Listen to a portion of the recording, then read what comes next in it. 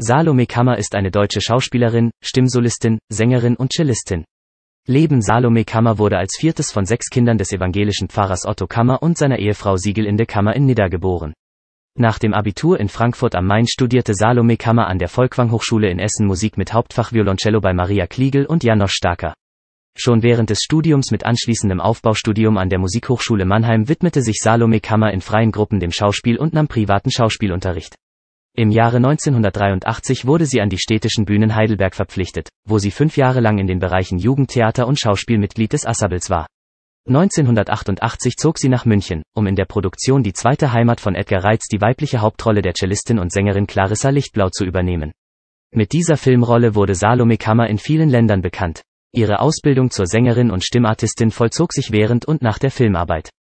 Zehn Jahre lang verkörperte Salome Kammer erfolgreich in verschiedenen Inszenierungen die Rolle der Eliza Doolittle im Musical My Fair Lady.